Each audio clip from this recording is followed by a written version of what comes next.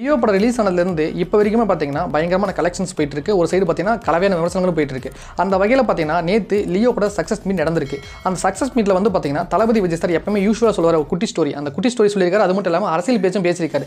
அவர் என்ன பேசினாரு அப்புறம் அந்த குட்டி ஸ்டோரி என்ன இருந்துச்சு யாரை குறி வைக்கிறாங்க அப்படின்லாம் பார்த்தீங்கன்னா இந்த வீடியோவில் நம்ம கிளியராக பார்ப்போம். ஸோ இந்த வீடியோவை ஸ்கிப் பண்ணால் பாருங்கள் அண்ட் இந்த வீடியோ உங்களுக்கு பிடிச்சிருந்துச்சா மறக்காம லைக் பண்ணிடுங்க கலைஞர் கேப்டன் அப்படின்னா ஒருத்தர். உலக நாயகன் அப்படின்னா ஒருத்தர். சூப்பர் ஸ்டார் நான் ஒருத்தர் அதே மாதிரி தலைனா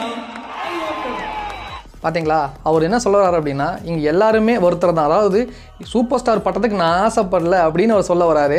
அது மட்டும் இல்லாமல் அதில் பார்த்தீங்கன்னா தலைனா ஒருத்தர் தான் அப்படின்னு சொல்லி சொல்கிறார் பார்த்தீங்களா அதாவது இதுக்கு முன்னாடி ஆடியன்ஸ்லையும் பற்றி பார்த்தீங்கன்னா நம்ம நண்பர் அஜித் சார்னு சொல்லுவார். அதாவது ஒரு ஒரு ஆடியன்ஸ்லையும் சரி அப்புறம் இந்தமாதிரி சக்ஸஸ் நடக்கிறதுல இதுலையும் சரி பார்த்தீங்கன்னா அவரோட நண்பரான அஜித்தை வந்து பார்த்தீங்கன்னா அவர் பாயிண்ட் அவுட் பண்ணிட்டு தான் இருக்காரு. அது மட்டும் இல்லாமல் இவங்க ரெண்டு பேருக்குள்ள ஒரு க்ளோஸ் ஃப்ரெண்ட்ஷிப் ரொம்ப நல்லாவே இருக்குன்னு சொல்லி சொல்லலாம். ஆனால் ஒரு சிலர் ஒரு சிலர் தான் அதை புரிஞ்சிக்காம தேவையில்லாமல் சோசியல் மீடியாவில் பிரச்சனை கிளப்பிட்டு இருக்காங்க உங்க கோபம் ரொம்ப அதிகமா இருக்கு ஏன்? நான் வேணாம். நம்ம யார் மனசையும் புண்படுத்த வேணாம். கோவம் அதாவது ஃபேன்ஸுக்கு வந்து பார்த்திங்கன்னா ரொம்ப அதிகமாயிட்டு இருக்கு. ஏன் அப்படின்னா அந்த படம் ரிலீஸ் ஆகிறதுக்கு லியோ படம் ரிலீஸ் ஆகிறதுக்கு எவ்வளோ பிரச்சனை தெரியும். அதுக்கப்புறம் வந்து பார்த்தீங்கன்னா இந்த சக்ஸஸ் மீட்டு கூட நடக்கிறதுக்கு அவங்க வந்து நிறைய பெர்மிஷன் கேட்க உங்களுக்கு வந்து நிறைய ரெஸ்ட்ரிக்ஷன்ஸ்லாம் கொடுத்தாங்க. இதுக்கு முன்னாடி அந்த மாதிரி பண்ணது கிடையாது. ஆனால் இப்போ வர வர பார்த்தீங்கன்னா விஜய் சாரோட படமும் சரி அவர் ஏதோ நிறைய நிகழ்ச்சி நடத்துறாங்க வச்சுக்கலாம் அந்த நிகழ்ச்சிக்கு சரி தடைகள் கொஞ்சம் அதிகமாக வர மாதிரி தோணுது. அதனால வந்து பார்த்தீங்கன்னா ஃபேன்ஸ் மட்டும் இல்லாமல் ஒரு சராசரியாக இருக்கிற மக்கள் கூட என்னடா அது ஒரு படத்துக்காண்டி இவ்வளோ பிரச்சனையெல்லாம் பண்ணுறாங்க இன்டெரக்டாக இப்படி பண்ணுறாங்க அப்படின்ற மாதிரி கூட ஃபீல் ஆகுது. நான் வழக்கமாக சொல்கிற மாதிரி ஒரு ஒரு குட்டி கதை ஒன்று சொல்லிட்டு ஒரு காட்டுக்கு ரெண்டு பேர் வேட்டைக்கு போகிறாங்க இந்த காட்டில் மானு முயல் நீல் இந்த காக்கா கழுகு. ஆனால் இதெல்லாம் இருக்கும் தானே. அதுக்கு சொன்னம்பா கொண்டு போனவர் ஒரு யானையை ஏன் பண்ணுறாரு யானை. ஏன் பண்ணுறாரு ஏன் பண்ணுறாரு மிஸ் ஆயிட்டு. ரெண்டு பேரும் திரும்ப ஊருக்குள்ள வராங்க.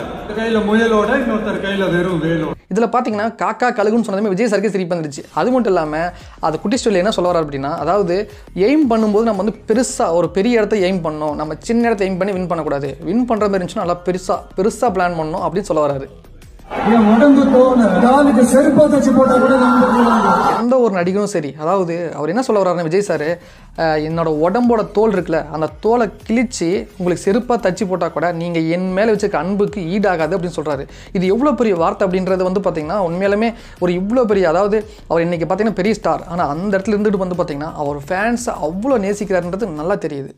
கட்சியில் கூட சேர்ந்தாருன்னா அந்த டிபார்ட்மெண்ட் ஆங்கர் கேட்குறாங்க அதாவது லோகேஷ் கனகராஜ் சார் வந்து கட்சியில் சேர்ந்தா நீங்கள் என்ன போஸ்டிங் தருவீங்கன்னு கேட்குறாங்க அதுக்கு முன்னாடி வந்து பார்த்தீங்கன்னா ஒரு பத்து படத்தோட வந்து பார்த்தீங்கன்னா லோகேஷ் கனகராஜ் வந்து வெயிட் பண்ணுறான்னு சொல்லி சொல்லியிருக்காரு. அது உண்மையா? அப்படி நடந்து உங்களுக்கு ஓகேவான்னு கேட்குறாங்க அதுக்கு அவர் சொல்கிறாரு இல்லை இல்லை அது சும்மா சொல்லிட்டு இருக்காரு அப்படின்னு. ஆனால் எனிவே லோகேஷ் கனகராஜ் வந்து பார்த்தீங்கன்னா படம் மேலும் மேலும் எடுக்கணும்னு ஆசை. அண்ட் அவர் கண்டிப்பாக எடுக்குவார்னு நினைக்கிறேன்.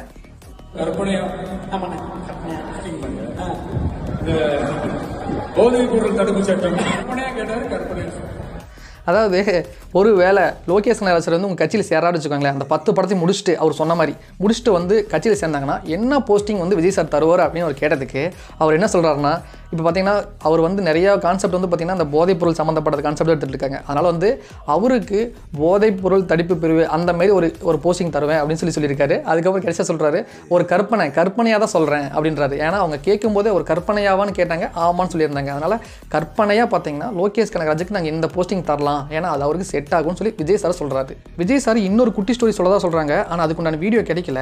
அதை நான் வாசிக்கிறேன் அப்படியே பாருங்கள் ஒரு குட்டி பையன் ஆசையாக அவங்க அப்பா சட்டை எடுத்து போட்டுக்குவான். அப்பாவோட வாட்ச் எடுத்து கட்டிக்குவான். அப்பாவோட சேரில் உட்காந்துக்குவான். அந்த சட்டை அவனுக்கு செட்டே ஆகாது. தொலை தொலைன்னு இருக்கும். வாட்ச் கையில் நிற்காது அந்த சேரில் உட்காரலாம்னு வேணாமான்னு தகுதி இருக்கா இல்லையான்னு அதெல்லாம் அவனுக்கு தெரியாது. அப்பா சட்டை அப்பா மாதிரி ஆகணும்னு கனவு. அதில் என்ன தவறு? அதனால் பெருசாக கனவு காணலாம்.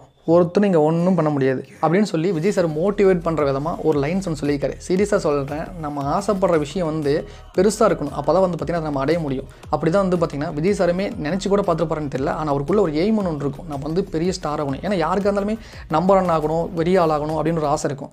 அதனால் பார்த்திங்கன்னா கனவு காணணும்.